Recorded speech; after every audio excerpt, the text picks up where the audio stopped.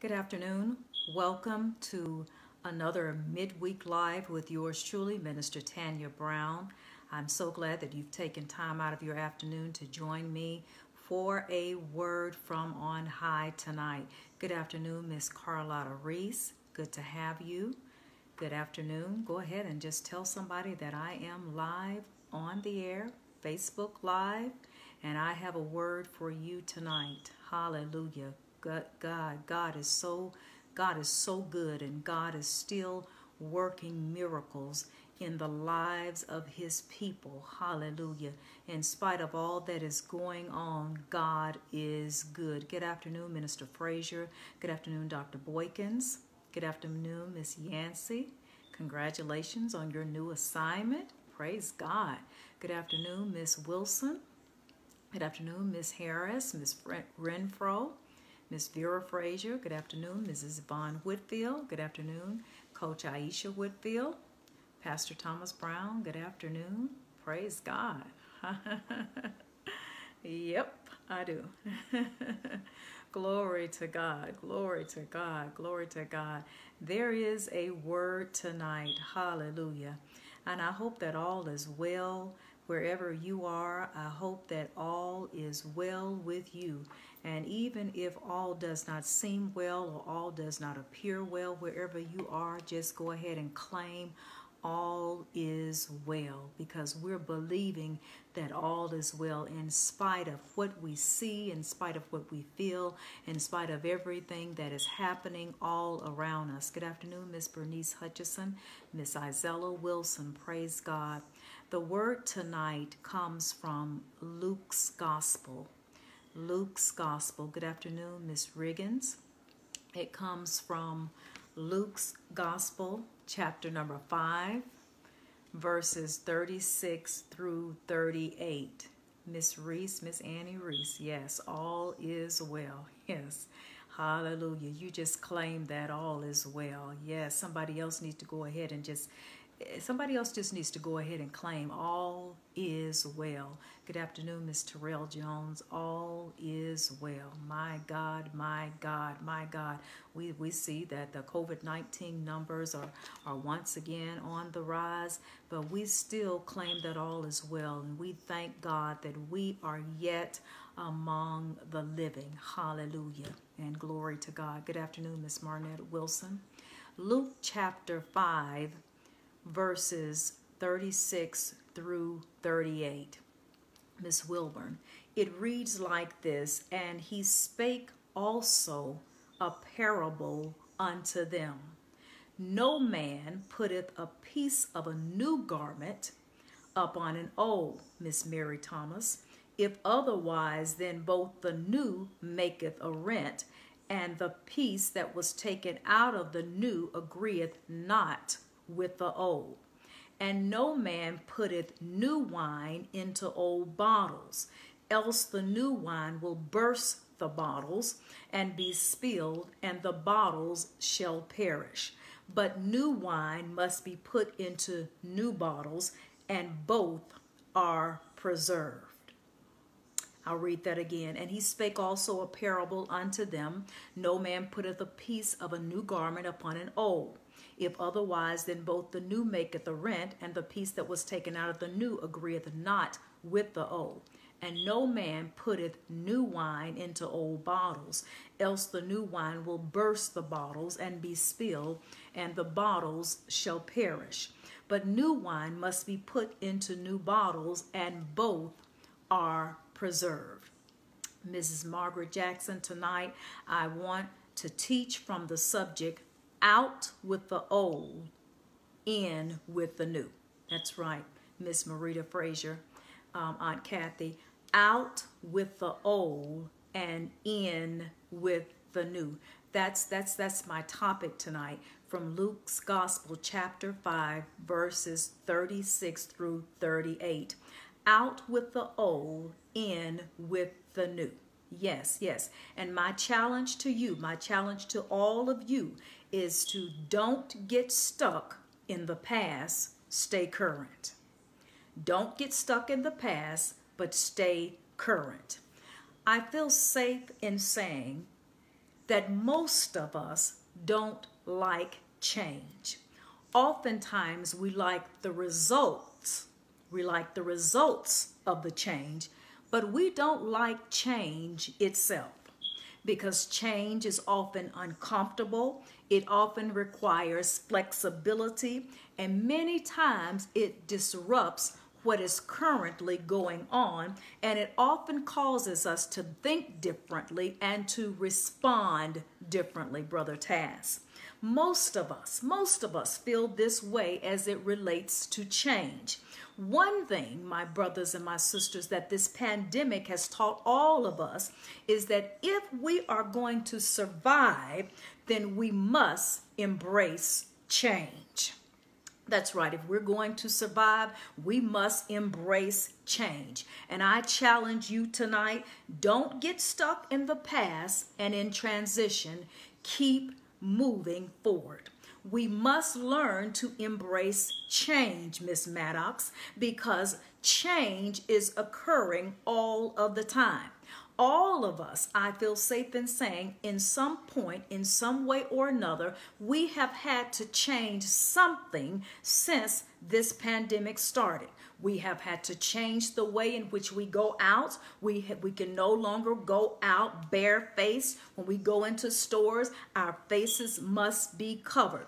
We have had to change the way that we have our church services. Most of us have in some way, form, or fashion are working with virtual services. We have had to change so many ways. We have had to change the way that we do business. Many businesses no longer accept cash. Many businesses don't no longer accept checks. You have to purchase things by way of a credit card. We have had to change whether we like it or not.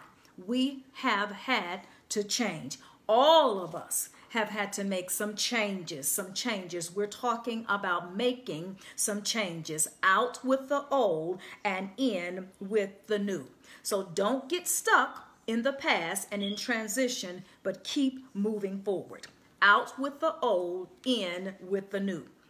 The text before us tonight happens after Jesus had healed the paralytic. You remember the paralyzed man who was brought in through the rooftop and, and there was no room for him on the inside. So they took the man on top of the roof and they began to remove some of the tiles and they brought the paralytic down through the roof. This, this, this verse, the, these verses that we're working with tonight, they occur after that. It occurs after Jesus had called Levi into the ministry. And let me give you just a little bit of history. Levi was a publican. Levi was a publican. A publican was a tax collector of the day. A publican who was a tax, collect, tax collector of the day was considered a sinner. Why was he considered a, a, sinner? I'm glad you asked. He was considered a sinner because the Roman government hired these tax collectors to do their work. They hired them to go out and receive taxes and to take taxes from the people. But in order for the publicans to get paid, they overtaxed the people. In other words, they overburdened the people with taxes so that they could get their cut out before they turned the other money in to the government. So these people were looked down upon. Nobody wanted to see the tax collector come. Nobody wanted to see the publican come because they knew that they were going to have to pay some astronomical price as it related to their taxes. So this this text that is before us happens after Jesus had called Levi into the ministry. And on this particular occasion, Jesus is sitting down at the house of Levi. He is feasting with Levi.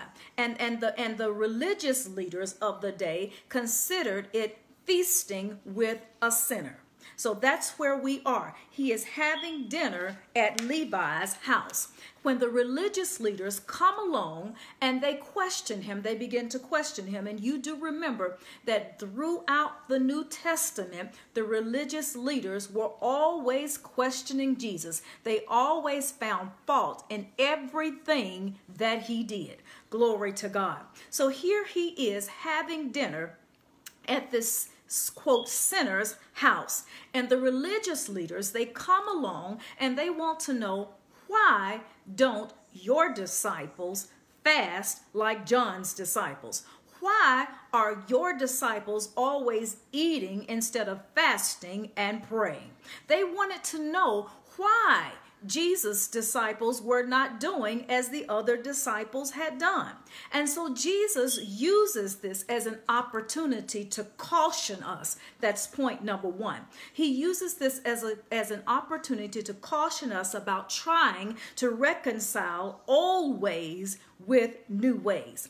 Jesus cautions us about mi- mixing old ways with new ways. Sometimes, my brothers and my sisters, you cannot mix old stuff with new stuff and expect a positive outcome. Sometimes, Deacon Brown, you cannot mix the old with the new and expect it to come out favorably.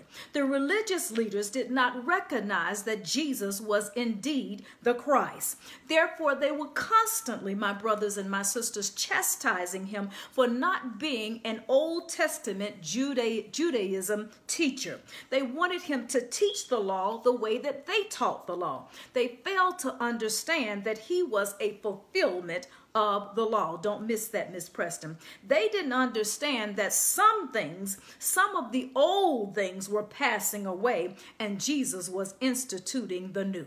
Don't you miss that either. During this time, some of their old things were passing away and Jesus was instituting the new.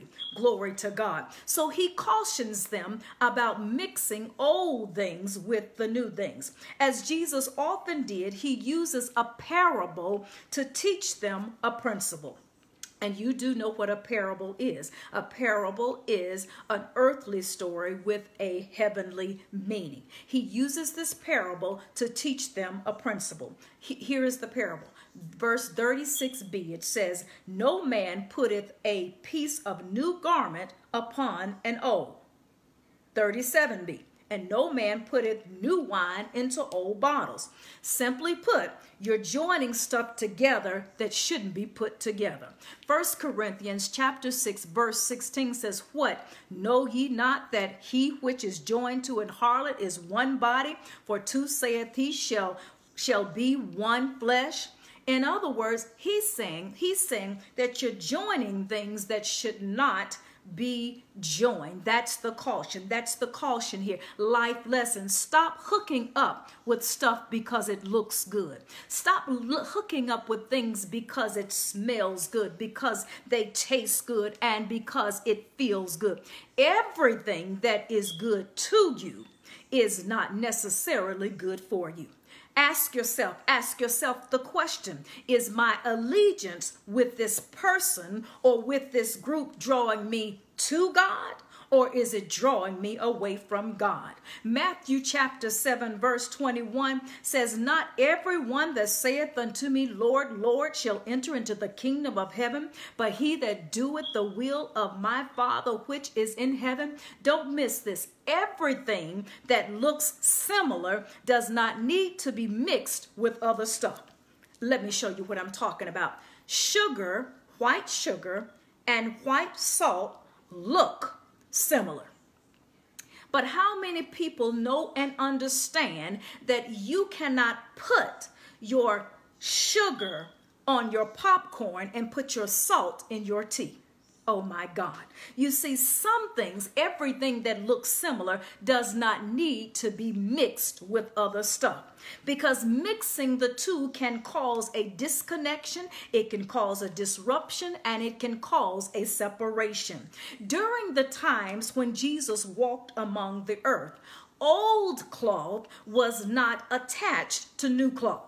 You see, they didn't have all of these new processes by which they were able to make clothing. So they didn't dare take an old garment, a patch from an old garment, and sew it onto a new garment. Because what would happen was be that the old garment, which was worn and the material had softened and it had gone through much wear and tear, when it would attach to the new garment. During the washing process, the garment would begin to come apart. And so when the gar- a garment comes apart, the garment would no longer be useless. That's what this means. That's what it means when he says you don't attach the new garment with the old garment. Because when you attach it, it's going to eventually cause a disconnection. It's going to eventually cause a separation. And it's going to cause a disruption with you if you try to wear that garment when it is pulling apart. During these times, also, when they would make wine, you see, they would put the unfermented juice or the grape juice or whatever fruit juice it was, they would put it inside a new wine skin. And at first, it would be fine, nothing would happen. But after a while, when the fermentation process occurred, the wineskin would begin to expand. And once it began to expand and hold this new wine, it was only good for that batch of wine. So then, once you remove the wine from the wineskin, you wouldn't put fresh wine into that old wineskin because at first it might be fine, but once it begins to ferment, because that wine bag or that wine bottle or that wine skin had been used, it would not be able to stretch anymore because it would have already been stretched during the fermentation process. Therefore, if you put the new wine into the old wine skin, it would eventually burst and once again, you would have a disconnection, you would have a disruption and a separation. So I caution you tonight to let go of your old way of thinking and to embrace the new. Out with the old, in with the new. It's time to let go of some misconceptions and some preconceived ideas that we have about people. You see, some people have shown you who they really are as opposed to who you thought they were. It's time to let them go. You've got to stop holding on to relationships that are not good for you. Take out the old put in the new, Miss Hutchison. You can't receive the new until you get rid of the old. Some of us have been looking at some people we ought to be looking over, and some of us are looking over some people we ought to be looking at. Out with the old and in with the new.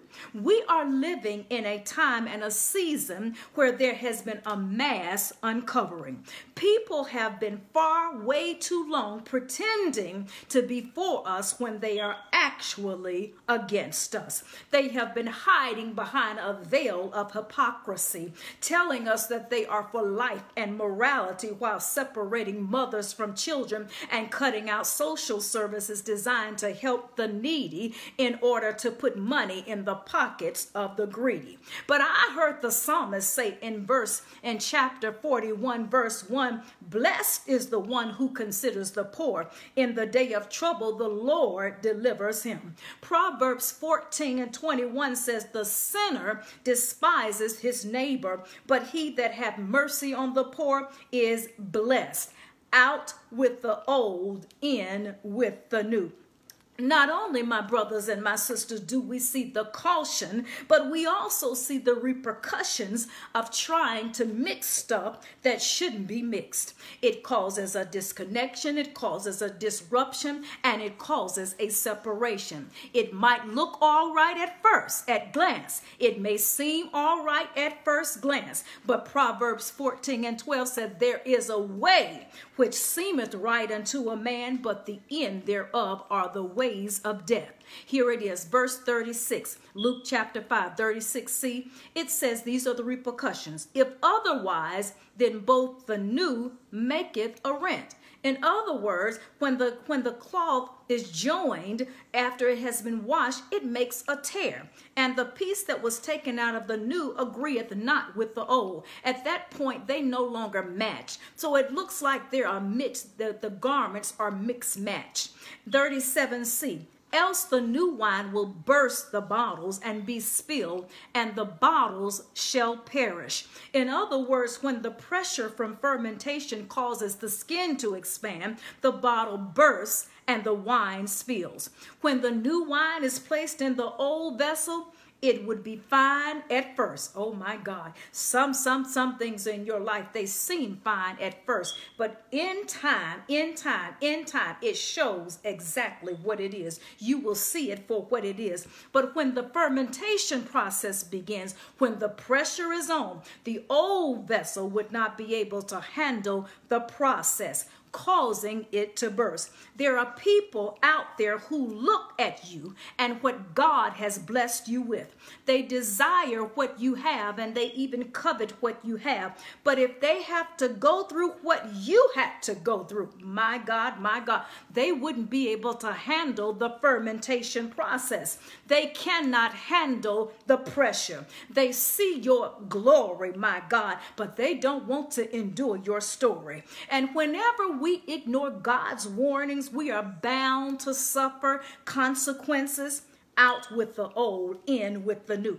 Just like the bottle and the cloth, we are bound to experience a disconnection, a disruption, and a separation. I don't know about you, but I don't want my fellowship from God to be disconnected, disrupted, or separated because without Him, Minister Finley, Without him, I glory to God, glory to God. Oh my God. Without God, I can do nothing. And God has lifted the blinders from our eyes, Miss Minnie Allen, and caused many of us during this season to see things as they are and not be distracted by a facade that mimics righteousness. If it kills, if it steals, if it destroys, it is not of God. If it kills your joy, it is not of God. If it steals your peace, it is not of God. If it destroys your race, it is not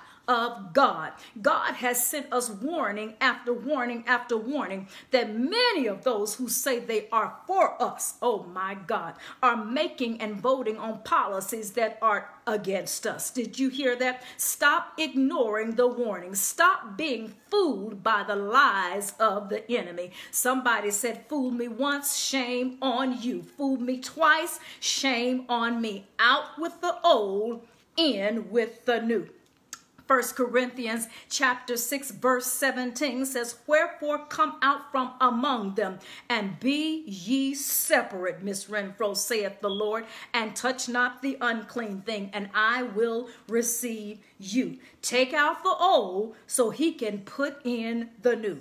God wants to bless you with new things, Sister Mac Jane, but you are too busy holding on to old things. God wants to bless you with the right one, but the wrong one is always tagging along. In order to receive the right relationship, you must first get out of the wrong relationship. In order to hear and receive the right word from God, you've got to first ignore and stop receiving the wrong word.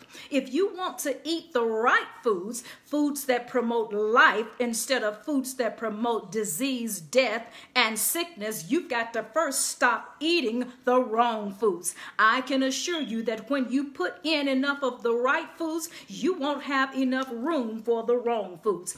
If you heed the caution and don't ignore the warnings, God will spare you from disconnection, disruption, and separation. That's the conclusion, point number three, that Jesus gives them. Listen to the conclusion. Verse 38 But new wine must be put into new bottles, and both are preserved. Oh my God. Do you want to be preserved? Do you want to be saved? Do you want to experience the joy of the Lord? I don't know about you, but I don't want to experience the disruptions, the separations, and the disconnections in my life. I want to stay hooked up with Jesus. I want to stay connected to God. So it says, but new wine must be put into new bottles, and both are preserved. Do you want to be preserved? out with the old and in with the new. In other words, the new information, the new knowledge, the new revelation that you are receiving The new way of doing things is designed to preserve you because God is doing a new thing. Did you hear that, Miss Miss Marnette Wilson? God is doing a new thing. Yes, I want to stay hooked up with Jesus. Isaiah 43 and 19 says, Behold, I will do a new thing. Now it shall spring forth. Shall ye not know it? I will even make a way in the wilderness. Glory to God, Miss Teresa Thomas, and rivers in the desert. Don't get stuck in the past. Stay current out with the old and in with the new. The conclusion Jesus did not come to reform the religious system of that day, He was a fulfillment of that system.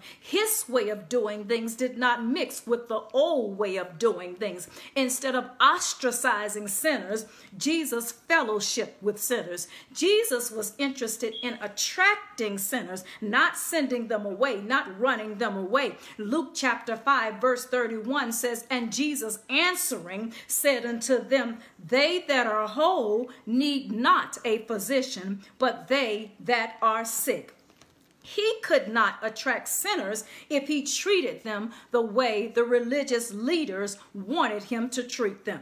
Jesus didn't judge the sinners, Jesus gave them grace and mercy. And he's right now, right now, he's waiting to give you grace and mercy. Just like he did it then, he will do it again. Luke chapter 5, verse 32 says, I came not to call the righteous, but sinners to repentance. He could not reach the sinner with judgment, he reached the sinner with grace and with mercy. Likewise, likewise, my brothers and my sisters, you cannot get what God has prepared, what, what God has prepared for you while you're holding on to junk.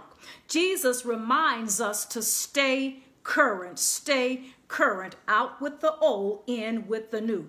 God is moving many of us into some uncharted waters, uncharted territories.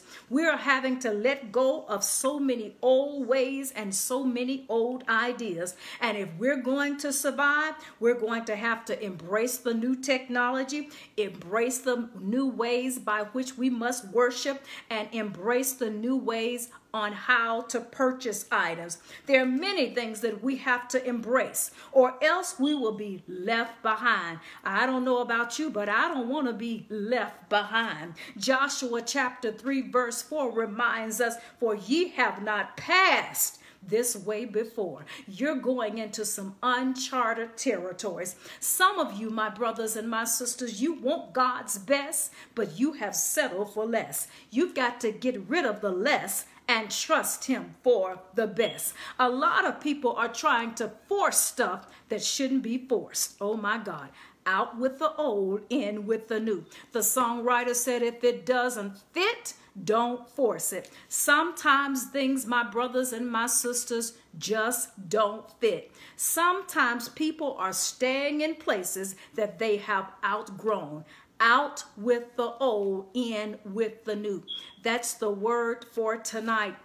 We have looked at Luke chapter 5, verses 36 through 38. We looked at the caution, we looked at the repercussions, and we looked at Jesus' conclusion. That's the word of God. Some of the things that you've been carrying, you've got to let them go. Some of the old mindsets that you had about things, about situations, about people, you've got to leave them in the past because we are moving in a place we've not moved into before. We're going in a direction that we have not gone before.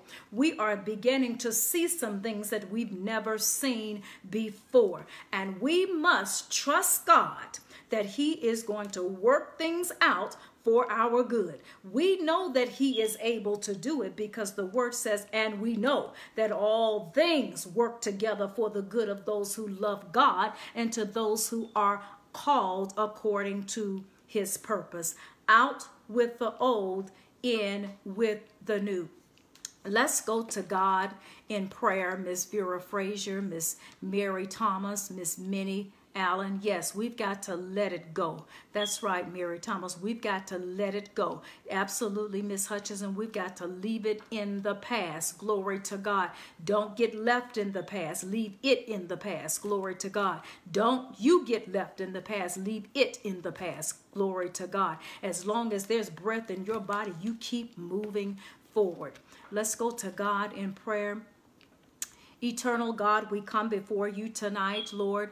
We come to magnify your holy and magnificent name. We come to reverence you because you are the most high God. We come to glorify you, God. Lord God, we love you in the name of Jesus. Father God, we cast all of our sins, Lord, down, Lord. We ask that you will forgive us, Lord, for every sin in the name of Jesus. Lord God, we ask that you will create in us a clean heart, God, that you will teach us, God, how to walk and talk and be mere reflections of you. Now, God, we ask that you put an extra hedge of protection around our homes, God, around our bodies, Lord, around our places of worship, God, our places that we work in the name of Jesus. We ask, God, that you will protect our children, God, that you will bless them in their coming and that you will bless them in their going. No weapon that is formed against them shall prosper in the name of Jesus. Now, God, we cancel the assignment of the enemy. We speak, speak cancellation to his assignment in the name of Jesus, Lord. The enemy will not and cannot do the thing that he has purposed to do in the name of Jesus. Lord God, we love you, God, because you first loved us. We love you, God, because we know that you are an able God. We thank you for your grace, God. We thank you for your mercy in the name of Jesus. Now, God, we just bless your holy name. We ask right now in the name of Jesus that you surround us with peace, God, the kind of peace that is not of this world, peace that surpasses all man's understanding in the name of Jesus. Lord God, we ask God that you restore our souls, restore them like only you can. Lord God, we ask that you restore imbalances in our bodies in the name of Jesus imbalances caused by sickness, imbalances caused by disease and inflammation. We ask that you restore balance in the name of Jesus. Now, God, we speak to sick bodies and we speak to wellness into sick bodies in the name of Jesus. We speak to sick minds and we speak wellness to sick minds in the name of Jesus. Lord God, give us the mind to walk like you, Lord. Give us the mind, God, to do what you said in your word that we should be doing. Lord God, we bless your name tonight. Lord, we bless your name from on high, God. We will look unto the hill, hills, God, because you are the source of our help, God. We thank you for the joy, God, the joy of our salvation. Lord God, in the name of Jesus, we ask right now, God, that you allow us, God, to have strength to hold on, God, until our change comes. In Jesus' name. Lord God, we give you all of the glory tonight. We praise your everlasting name tonight. We magnify your name tonight. In Jesus' name, we pray. And everyone said, Amen and glory to God. Hallelujah. Thank you. Glory to God. Thank you for joining me, Miss Enette Reese, Miss Annie Reese, Miss Mary Thomas. Thanks for joining me, Minister Frazier. Thanks for joining me. Miss Tamara Yancey. Thank you for joining me, Miss Dixon, Miss Minnie Allen. I pray that all is well. Dr. Boykins, in the name of Jesus. Yes, yes, glory to God. Um, I want to remind you that Pastor Brown will come again tomorrow night with another word from on high. Don't you dare miss it. Stay tuned tomorrow, same time, for a word from on high. And those of you who uh, worship with us, who who uh, fellowship with us at MTV, remember that the church anniversary is coming up. Glory to God. And you can still make your donations um, toward the church anniversary. And I'm sure Ms. Janie Brown will have that information up on the screen very soon. I want to remind everybody to continue to be safe. Continue, Miss Melissa Sanford. Please continue when you go out to wear your mask, stay protected. This pandemic is not over. I know you're like most of us, you're tired uh, of, of the mask, you're tired of all of these things, but we must remain diligent. We must remain diligent. When we go out, we must remain protected. We must stay covered. We must be mindful of, of standing too close to others, of, of, of being too close to people who are not in our homes, who do not live with us. This pandemic is not over. Please remain protected. Now, we trust God, but we're going to do what we have to do and trust Him to do the rest. Glory to God. Thanks again for joining me, Miss Ann Hutchison, uh, Miss Marnette Wilson. Glory to God. Share this message with somebody. If you didn't quite get it all, go back and hear it. Out with the old, in with the new. And I'll see you again on Sunday morning at 9 a.m. You have a blessed, awesome week. Keep walking with God, and God will walk with you.